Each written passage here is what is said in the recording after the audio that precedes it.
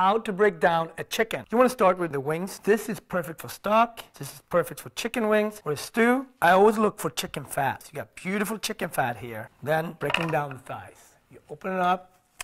You want to stay as close to the bones as you possibly can. Now to the breast meat. Look for the middle, the center, that center bone. Cut as close to that bone so the chicken breast is as big as possible. This is perfect for stock. Should never waste anything on a chicken.